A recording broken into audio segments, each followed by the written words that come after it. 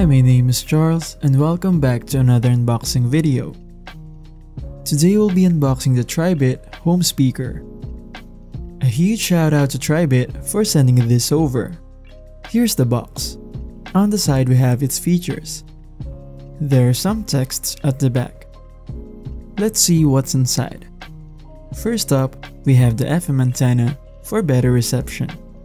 Next we have the power adapter. This is a Type G plug.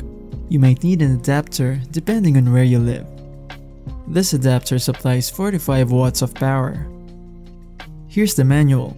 You can also download the PDF version on their website. Lastly, the speaker itself. At the lower part, we have the Tribit logo. It is almost entirely covered with this woven material. We have the display at the front and the touch sensitive buttons. At the bottom we have the coin cell battery compartment for the clock's memory. There's also a single button to set the time. There are two slots on the side for charging your devices. There's a Type-C port and a Type-A port, which is covered by this flap. At the back we have a microSD slot, an aux jack, and a power slot. Here's what the back looks like. This also has a light running on its sides. Here are its dimensions. Remember to pull out the plastic and the battery compartment to activate the coin cell battery. You can use a coin to twist the battery door or risk using your nail to open it, which I did here. When you plug this speaker for the first time, you'll need to set up the time first. Use the arrows to change the setting. Tap the circle to confirm an action. Tap the plus or minus sign to adjust the time. After setting the date, you'll also need to input what day it is. The default mode is set to Bluetooth. Open the Bluetooth settings on your phone, then look for the Tribit home speaker. You can adjust the speaker's volume using your phone or the volume buttons on the speaker. You can also skip or repeat a track by using the arrow buttons. Tap the circle icon to play or pause the track. Tap the source button to switch to the four inputs available. Here's the aux mode.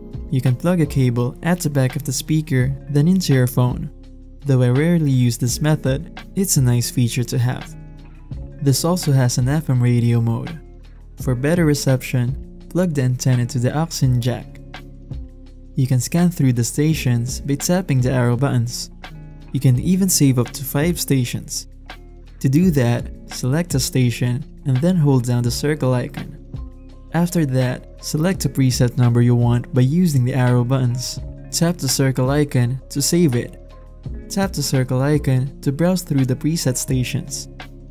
You can also save your tracks to a microSD card and play it on the speaker. I don't have a microSD card, but the controls are similar to the Bluetooth mode. Since this is a speaker with a clock after all, Let's set an alarm. Hold down the clock icon. Set the time by using the arrow buttons and the circle icon. Then choose if you want to repeat the alarm or if you want it to ring just for today. Choose a sound for the alarm and its volume. You can also set the light to go with the alarm. Tap the circle icon to save the alarm. Tap the snooze button once to snooze it for 10 minutes. Hold down to stop the alarm.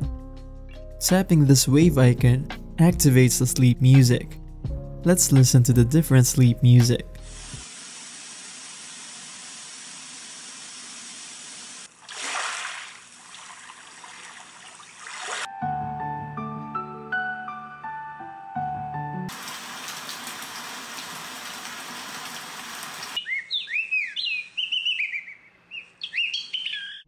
There's a sleep mode that will automatically put the speaker to sleep after the set time. This speaker also has a light. It has three modes, a solid color and two RGB modes. You can choose a solid color by tapping the light button and one of the arrow buttons simultaneously. You can only adjust the brightness of the white light. Another great feature this speaker has is its ability to charge your phone with its two USB outputs. The Type-A port has an output of 5 volts and 2 amperes, while the Type-C port has an output of 5V and 3A. You can also pair another Tribit home speaker to give that 360 immersive sound. This speaker uses Bluetooth 5.0, so you get improved connection and low latency. Let's test if it has an audio delay.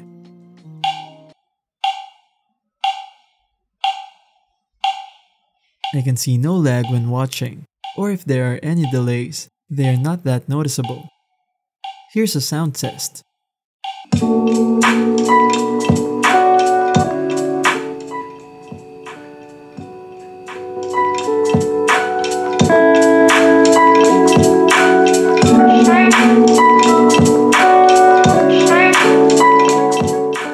I'm really impressed with the sound since it can be really loud without sounding distorted.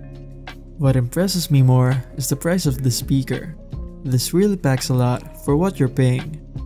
Note that this is not a rechargeable speaker, which is understandable since they positioned this as a home speaker. They do offer other speakers though that are rechargeable. Check out their website to know more. Thanks again to Tribit for sending this one. I hope you found this video interesting if you liked it, click subscribe to get notified whenever I upload a new video. Stay safe and thank you for watching.